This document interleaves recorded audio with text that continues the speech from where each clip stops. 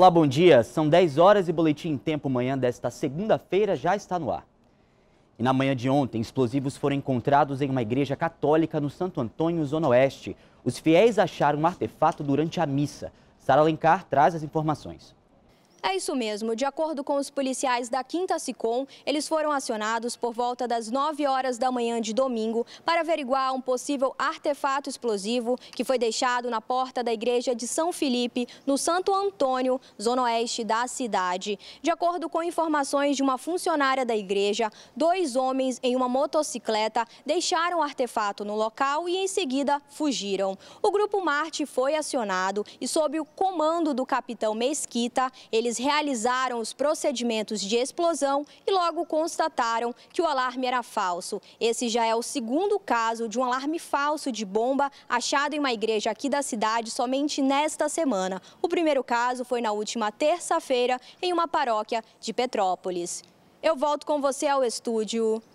Uma briga durante um torneio de futebol na comunidade de Janauari, em Iranduba, terminou na morte de Rio do Adri Soares, de 41 anos. Segundo a polícia, ele foi atingido com um tiro nas costas na tarde de domingo. O suspeito de ter atirado na vítima é identificado como Daniel, mas o homem fugiu numa lancha depois do crime. Rildo chegou a ser levado para o hospital aqui na capital, mas não resistiu aos ferimentos. A delegacia especializada em homicídio de sequestros deve investigar o caso.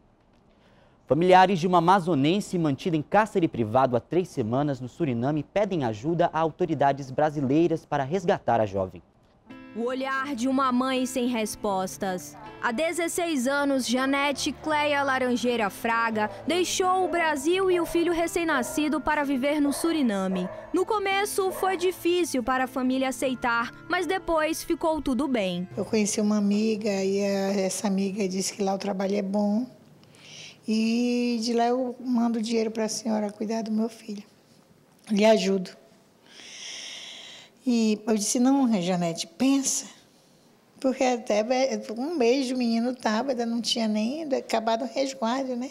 Em 2013, ela retornou a Manaus com um marido surinameso. Foram 15 dias de férias junto com a família, que não aprovou o relacionamento, mas concordou com o retorno da jovem. Esses dias que ele ficou em casa, era esquisito, porque ele não falava com ninguém.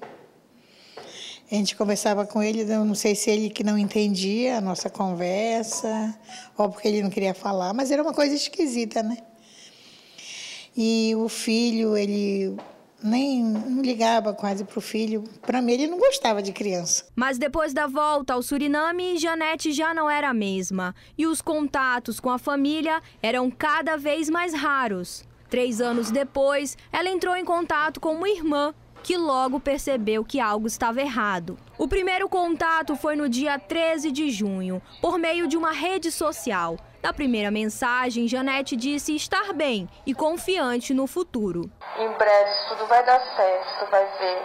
Deus, tá, Deus, Deus, Deus é fiel, Deus ele não falha, eu tenho muita fé nele, que ele vai abençoar a gente, dar uma nova oportunidade para nossa família se reunir toda, tudo novamente, para voltar tudo no lugar certo não andar mais pelos caminhos errados, tá entendendo? Deus vai guiar a gente no caminho certo. Na mensagem seguinte, vieram as denúncias sobre a situação de cárcere privado e agressões. Janete até chegou a mandar imagens do local que estaria presa: um quarto bagunçado, com drogas pelo chão e um homem dormindo. Ficar aqui, eu só aproveitando da minha inteligência, usando as coisas que eu faço, usando as minhas coisas, e eu trancada dentro de um quarto igual uma pessoa que, uma delinquente, uma pessoa que, que fez mal para alguém que está se escondendo da polícia, tá, ou roubou, matou, eu não fiz nada disso ainda.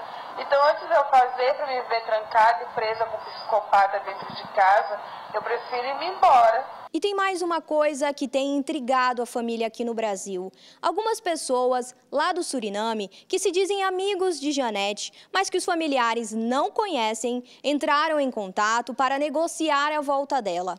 Uma de suas irmãs tem que ir até lá para buscá-la. E tem mais uma condição: a polícia tem que ficar fora disso. Inconformados com a situação, familiares e amigos de Janete pedem ajuda das autoridades brasileiras. Ela, ela tem uma família. E outros irmãos não sabem também o que fazer. Eu, como mãe, eu peço ajuda. E a polícia procura três suspeitos de terem assaltado na última sexta-feira uma loja de eletrodomésticos na zona centro-oeste de Manaus. Dois homens e uma mulher chegaram na loja, renderam os funcionários e roubaram o setor financeiro. O valor do roubo não foi informado, mas os assaltantes também levaram alguns pertences pessoais dos funcionários, como bolsas e celulares. O caso foi registrado no décimo DIP. Com o objetivo de vencer a crise e, claro, ajudar as pessoas, expositores criaram o Bazar do Bem. O evento aconteceu neste domingo em Manaus. Fazer o bem sem olhar a quem. Adriana realiza trabalhos voluntários pelo interior do Amazonas. Sem recursos para as novas ações, ela se juntou com algumas amigas e promoveu um bazar para recolher dinheiro e continuar com o projeto. Surgiu a ideia da gente fazer um bazar. E aí eu falei, não, tudo bem, eu vou fazer o bazar, mas desde que eu possa arrecadar um pouco de fundos para as minhas ações e elas toparam. E aí foi assim que surgiu a ideia do bazar. A iniciativa deu certo. Esta já é a segunda edição do evento, que, diferente de outros bazares, ajuda tanto quem participa quanto quem é apadrinhado pela ação. A gente resolveu fazer esse bazar, onde essas pessoas teriam um espaço acessível, com custo baixo, para que pudessem expor os seus produtos.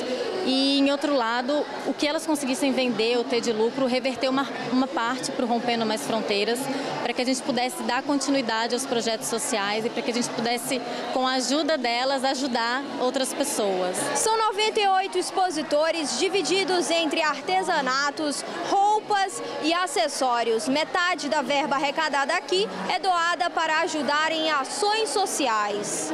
Esta é a primeira vez que a Carla participa de um bazar e optou por praticar o bem, doando parte do seu lucro. A artesã trabalha com tecido 100% algodão. Vale a pena ajudar o próximo. Jane aprovou os preços e a iniciativa. Gostei muito, apesar que eu não sou daqui, eu sou de fora, mas eu estou gostando dessa oportunidade que as pessoas têm de expor as mercadorias dela aqui. A próxima edição do Bazar deve acontecer em outubro. Muitas crianças já estão de recesso escolar e as tradicionais colônias de férias são uma ótima opção para quem quer gastar pouco e ver a diversão da garotada. Julho é o mês das férias escolares. As crianças ficam ansiosas por esse período, mas alguns pais ainda ficam na dúvida sobre o que fazer para entreter os filhos durante a temporada. Por isso, as tradicionais colônias de férias são uma excelente alternativa.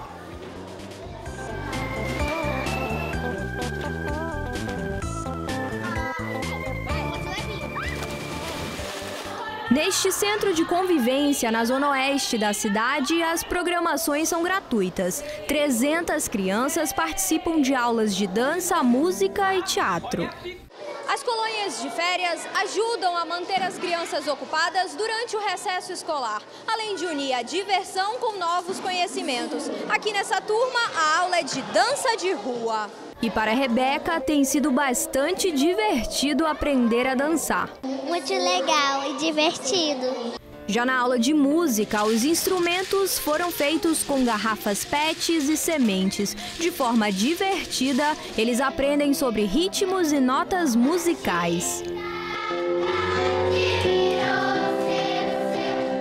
Isso a gente vai aproveitando esses materiais do dia a dia e trabalhando um pouco a criatividade delas. A gente coloca uma música e faz com que elas executem o ritmo dentro desses instrumentos. Em uma outra opção na Zona Oeste, as atividades acontecem durante todo o dia. E por aqui, as brincadeiras aquáticas são as preferidas. O investimento para uma semana, incluindo a alimentação, custa a partir de 300 reais. As atividades são divididas em atividades que a gente tem no Caramanchão, Manchão, lá do Parque 1, e aqui no Parque 2, que são as atividades aquáticas.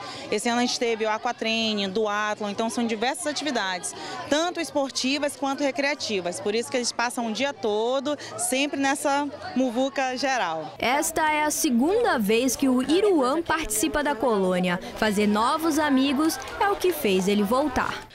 Porque a gente faz várias amizades e tal, e é muito bom brin fazer brincadeiras. Férias em contato com a natureza é a proposta desta colônia, em um sítio no Tarumã.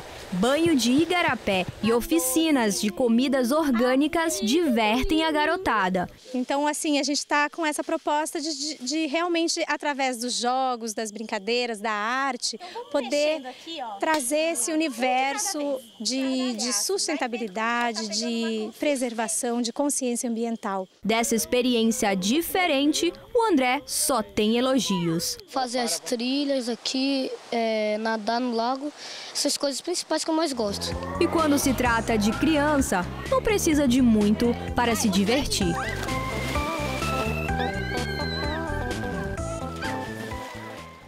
Legal. São 10 horas e 10 minutos e o Boletim Tempo Manhã termina aqui. Outras informações você acompanha daqui a pouco, na segunda edição do Boletim, às 10h50. Até lá.